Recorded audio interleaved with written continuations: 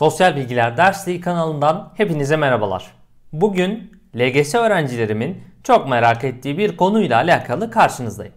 Arkadaşlarımız şunu merak ediyorlar. Hocam kaç net yaparsam ya da kaç doğru kaç yanlış yaparsam bu sınavdan ne gelir? Kaç puan elde ederim? Yüzdelik dilimim kaç olur?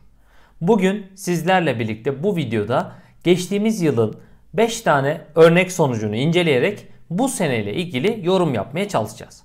Öncelikle şunu belirtmeliyim ki elimizdeki 5 tane sonuç ekranı geçen seneki LGS sonuçlarıdır arkadaşlar. Bu seneki yapacağınız netler bunlarla aynı olursa sonuçlar farklılık gösterebilir ama 3 aşağı 5 yukarı aynı olacaktır. Bunu da baştan belirtmek istiyorum. Sizler bu video sayesinde deneme netlerinizin ne olduğunu zaten bildiğiniz için kaç puan geleceğini aşağı yukarı sınavda tahmin edebilirsiniz. Bu tarz videolarımız devam edecek. Bize destek olmak için videolarımızı beğenip arkadaşlarınızla paylaşabilir. Kanalımıza abone olup bildirimleri açarak bundan sonraki videolarımızdan haberdar olabilirsiniz. Vakit kaybetmeden başlayalım.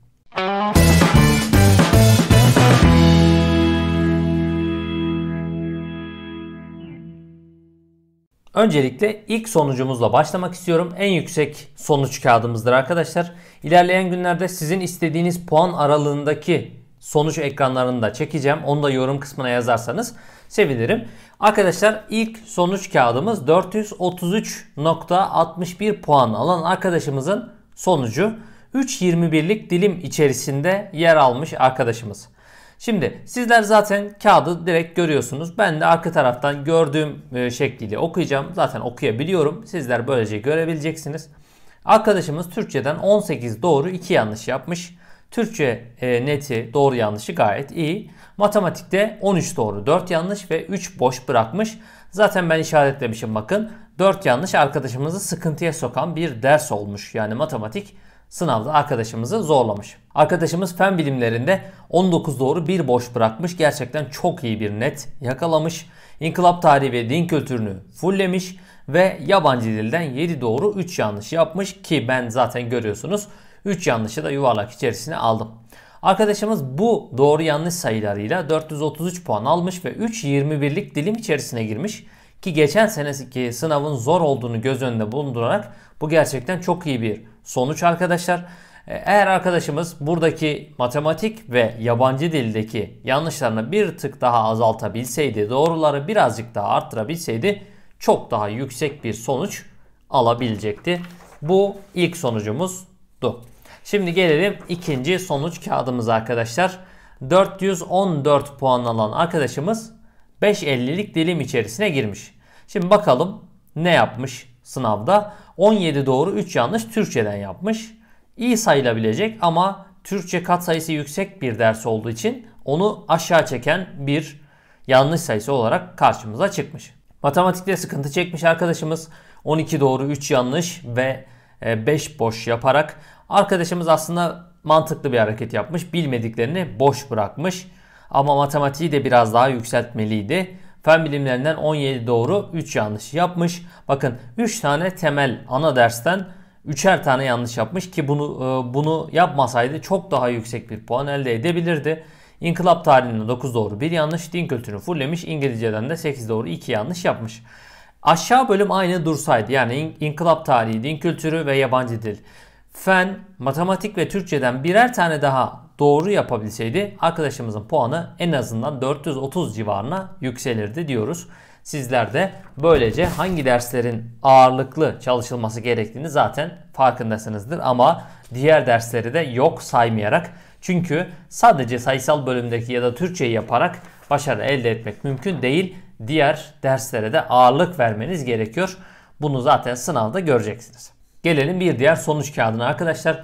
416 alan bir e, arkadaşımızın kağıdı 5.33'lük dilim içerisine girmiş. Bakın biraz önceki arkadaşımızla hemen hemen aynı puan. Sadece 0.20'lik e, bir yüzdelik dilim fazlalığı var bu elimdeki kağıdın. Biraz öncekinin de e, den de bir puan fazlalığı var e, sadece.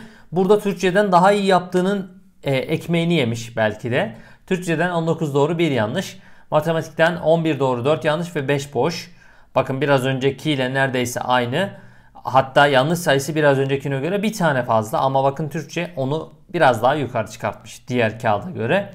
Fen bilimlerinden 16 doğru 3 yanlış ve 1 boş. İnkılap tarihi ve din kültürünü fulllemiş. Yabancı dilden 8 doğru 2 yanlış yaparak bu sonucu elde etmiş. Peki gelelim son iki kağıdımıza 405 puan alan arkadaşımızın kağıdı. Bu kağıt belki de sizin için şu anda kriter ve ölçüt olabilecek bir kağıt. Çünkü 400 puan civarına kaç doğru yanlışla çıkabileceğinizi bu kağıttan görebileceksiniz. Türkçeden 17 doğru 2 yanlış ve 1 boş. Matematikten 11 doğru 3 yanlış ve 6 boş ki matematik bölümü birazcık sıkıntılı geçmiş. Fen bilimlerinden 17 doğru 2 yanlış ve 1 boş. İnkılap tarihinden 8 doğru 2, 2 yanlış. Din kültüründen 8 doğru 2 yanlış. Yabancı dilden 8 doğru 2 yanlış yapmış. Zaten sıkıntılı olan dersler bakın sözel derslerden de arkadaşımız sıkıntı çekmiş ve bu puanı elde edebilmiş. Bu puan arkadaşımızı 400 e, bu sonuçlar arkadaşımızı 405 puan seviyesine çıkartmış. Hemen gelelim son kağıdımıza arkadaşlar. Son kağıdımızda 419 alan bir e, öğrencimizin kağıdı 489'luk dilim içerisine girmiş. 16 doğru 4 yanlış yapmış. E, Türkçeden, matematikten 13 doğru 4 boşu var. Bakın boş bırakmış. Aslında mantıklı bir hareket ama biraz daha arttırsa çok daha iyi sonuçlar elde edebilirdi. Fen bilimlerinden 19 doğru 1 boşu var. İnkılap tarihini fulllemiş. Din kültüründen 9 doğru 1 yanlış. Yabancı dilden 5 doğru 5 yanlış. Bakın yarı yarıya yapmış. Bu da onu zaten sıkıntıya sokan dersler olarak yuvarlak içerisine aldıklarım karşımıza çıkıyor. Evet arkadaşlar bugün sizlerle beraber geçen yılın LGS sonuçlarından örnekler inceleyerek bu seneki sınavda neler olabileceği ile alakalı bir bilgilendirme yapmak istedim. Aslında kaç net yaparsanız kaç puan elde edebileceğinizi sizlere örneklerle göstermek istedim. Bundan sonra da bu tarz videolarımız devam edecek. Eğer hocam şu puan aralığında sonuçlar da olsun derseniz işte hocam ben 350 puanı merak ediyorum ben 400'ü ben 450'nin yukarısını merak ediyorum derseniz de yorum bölümüne yazarsanız onları da bulup sizlerle işleyebiliriz, inceleyebiliriz. Bize destek olmak isterseniz videolarımızı beğenip arkadaşlarınızla paylaşabilir. Kanalımıza abone olup bildirimleri açarak bundan sonraki ders ve videolarımızdan haberdar olabilirsiniz. Başka videolarda görüşmek üzere.